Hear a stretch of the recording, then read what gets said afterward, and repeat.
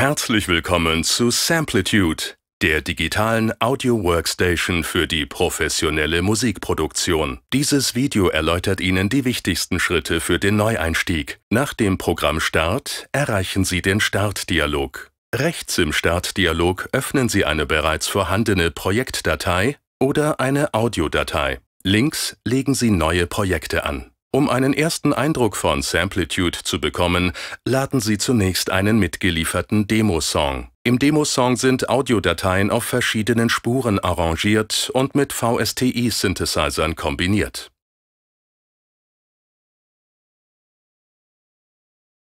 Das Herzstück von Samplitude ist der Arranger mit den verschiedenen Spuren. Hier arrangieren und bearbeiten Sie Ihre Audio- oder MIDI-Dateien. An einigen Spuren sind farbige Spurkurven zu erkennen. Mit diesen Kurven lassen sich Lautstärkeänderungen oder Effektverläufe steuern. Bei vielen Spuren und längeren Projekten empfiehlt es sich, die Ansicht zu vergrößern und in den Arranger hineinzuzoomen. Dazu dienen die Zoom-Schaltflächen rechts unten. Die Bearbeitung erfolgt direkt mit den Objekten und mit vielen professionellen Editoren und Managern, die Sie über das Menü Ansicht hinzuschalten.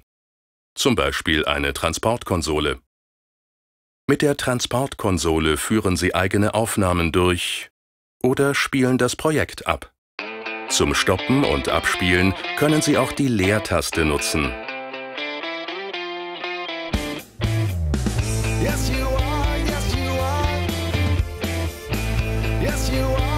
Die Transportkonsole ist zunächst in der Programmoberfläche fest integriert. Sie kann jedoch auch abgedockt und frei positioniert werden.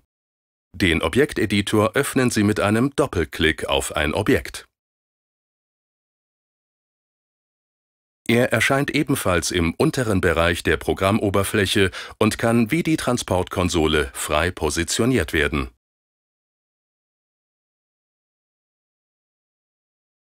Der Objekteditor bietet separate Bearbeitungsfunktionen für jedes Objekt, zum Beispiel Effekt-Plugins, einen vierbandigen parametrischen Equalizer, Fade-In oder Fade-Out oder Time-Stretching oder Pitch-Shifting. Für die objektbasierte Arbeitsweise ist Samplitude berühmt geworden. Sie können jede Audiodatei in beliebige Objekte zerschneiden, einfach indem Sie sie markieren, den Abspielmarker an die Schnittposition stellen und die T-Taste auf der Tastatur drücken. So entstehen zwei unabhängige Objekte, die sich frei bewegen und mit separaten Objekteditor-Einstellungen bearbeiten lassen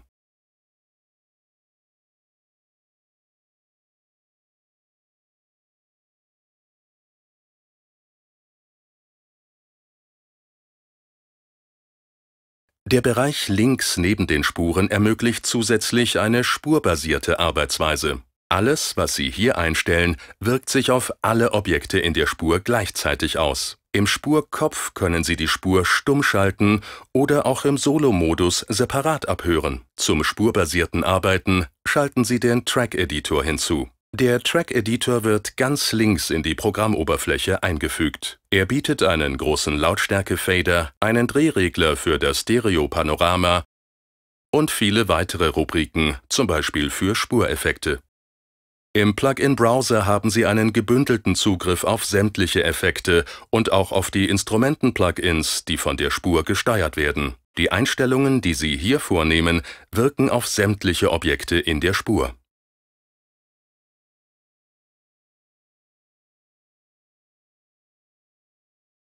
Samplitude bietet eine komplexe Mixeroberfläche, mit der Sie den Gesamtsound abmischen. Diesen Prozess nennt man auch Mixing. Der Mixer entspricht im Prinzip einer professionellen Studio-Mischkonsole mit vielen zusätzlichen Möglichkeiten. Hier finden Sie Ihre Spuren als einzelne Kanalzüge wieder.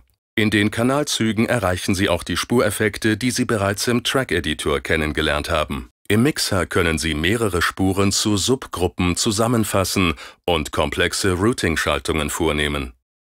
Ganz rechts in der Master-Sektion bietet der Mixer weitere Bearbeitungsmöglichkeiten für den Gesamtsound. Wenn Sie mit der rechten Maustaste auf ein Bedienelement klicken, öffnet sich an den meisten Stellen ein Kontextmenü oder Editor, mit dem Sie genauere Einstellungen vornehmen können, zum Beispiel beim Master Equalizer.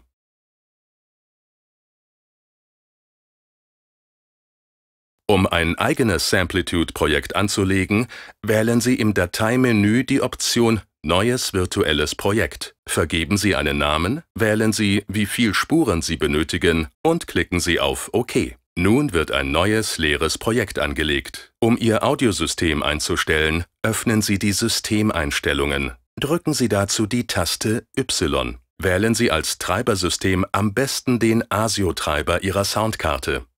Alternativ ist auch der Magic Slow Latency Treiber eine gute Wahl. Im MIDI-Reiter sollte Ihr MIDI-Keyboard ausgewählt sein.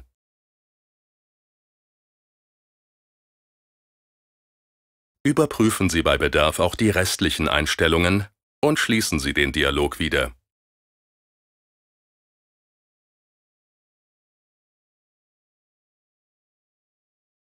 Ihre Audiodateien laden Sie über das Dateimenü. Wählen Sie zunächst die Spur aus, in die Sie das Material importieren wollen. Alternativ können Sie auch einfach die Taste W für WAV-Dateien drücken. In diesem Dialog erreichen Sie Audiodateien in allen unterstützten Formaten. Mit gehaltener Steuerungstaste können Sie mehrere auswählen und gleichzeitig laden. Im Folgedialog legen Sie unter anderem fest, in welcher Reihenfolge die Dateien geladen werden.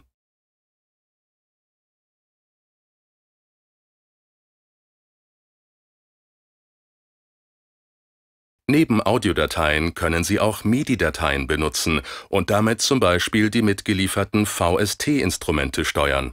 Dazu wählen Sie zunächst die Spur aus, die das VSTI steuern soll. Das VST-Instrument können Sie über den Plug-in-Slot am Spurkopf laden.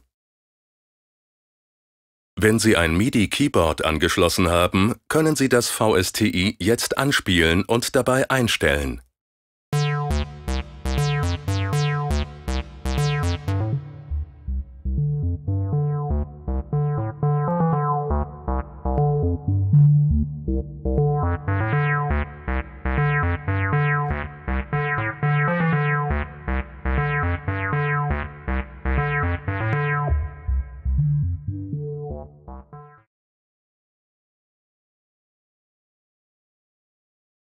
Das VST-Instrument lässt sich natürlich auch aufnehmen. Dazu führen Sie eine MIDI-Aufnahme durch. Schalten Sie zunächst die rote Aufnahmeschaltfläche an der VSTI-Spur scharf. Die Aufnahme starten Sie dann über die Aufnahmeschaltfläche in der Transportkonsole.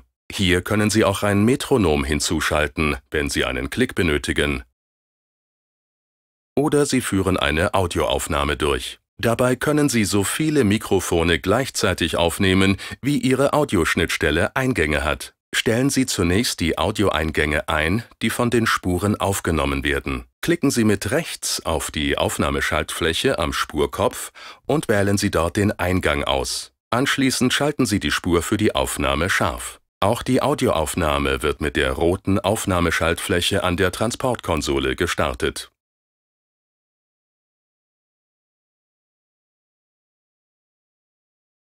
Wenn Sie ein Projekt fertiggestellt haben, brennen Sie es im Menü CD, DVD auf eine Audio-CD oder DVD. Oder Sie exportieren es im Menü Datei in verschiedene Formate. Hier endet unser Einführungsvideo zu Samplitude. Wir haben hier nur die wichtigsten Schritte für Neueinsteiger vorgestellt. Es gibt noch eine Fülle von weiteren Möglichkeiten, um Audio- und MIDI-Dateien zu bearbeiten und zu arrangieren. Dazu wünschen wir Ihnen nun viel Erfolg mit Ihrer neuen Software.